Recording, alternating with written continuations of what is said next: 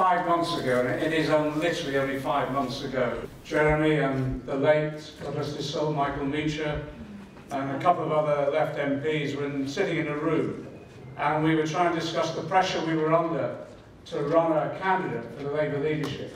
And so all eyes went on to Jeremy. all eyes went on to Jeremy, and we basically said, well, it's your turn. and he's, and uh, he didn't want to do it, to be honest. He wasn't, he wasn't keen. And we said, we all have to make sacrifices, Jeremy, in this life. He said, all right, go on then.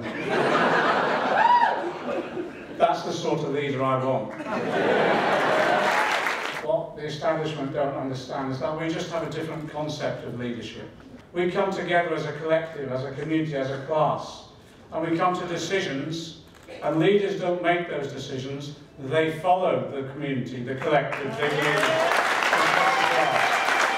Anyway, we got to the final day, and as you know, we won by the largest mandate any Labour leader has had. Why did that happen? I think because there was a hunger and a thirst yes. for honest politics, yes. straight talking, ideas not just told to people, but discussed together as a collective. Of course, we're working through the Labour Party to ensure we build it up as an electoral force that can win elections. But the reality is that electoral force will not succeed unless there's also support and the movement outside of the Labour Party parliamentary processes itself. That's why we discussed throughout the campaign that we had to transform the Labour Party and the Labour movement back into a social movement again, exactly as it was when it was first founded.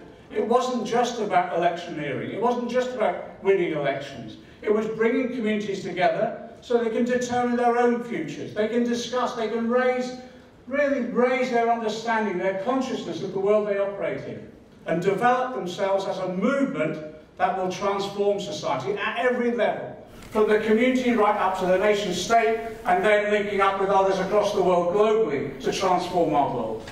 That's what this is all about.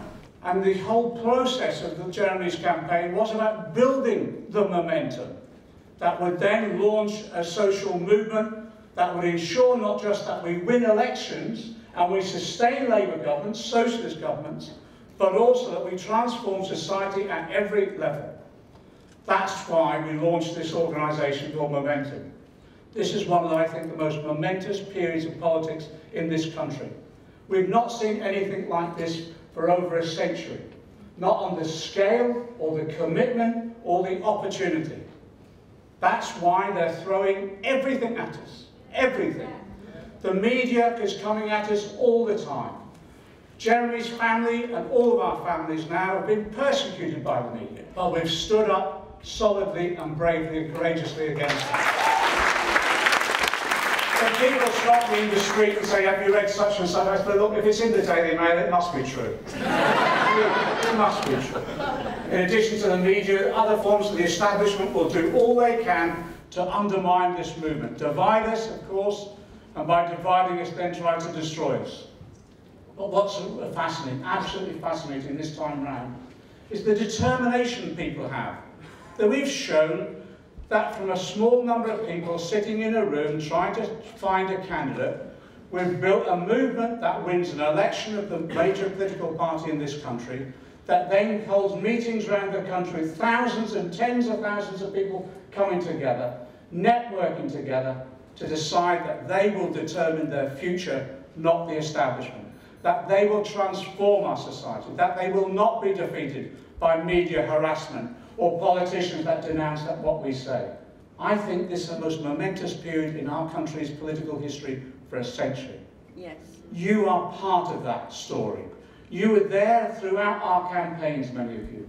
You built the support that enabled us to get Jeremy elected. You're now building us the support to enable us to win a Labour government.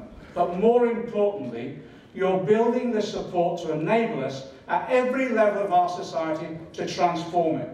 We need absolute strength. Strength. Determination. When they come throwing that stuff at us, determination. But also we need that thing that was discovered by the workers in the, at the beginning of the Industrial Revolution, in the small workshops and in the fields. It was a secret. It is a secret that together we're strong. We put it on our banners. The workers united will never be defeated. Unity is strength. Injury to one is injury to all. Do we call it? what is that secret? What we call it? It was solidarity. We need strength, determination, but above all else, solidarity. Solidarity, brothers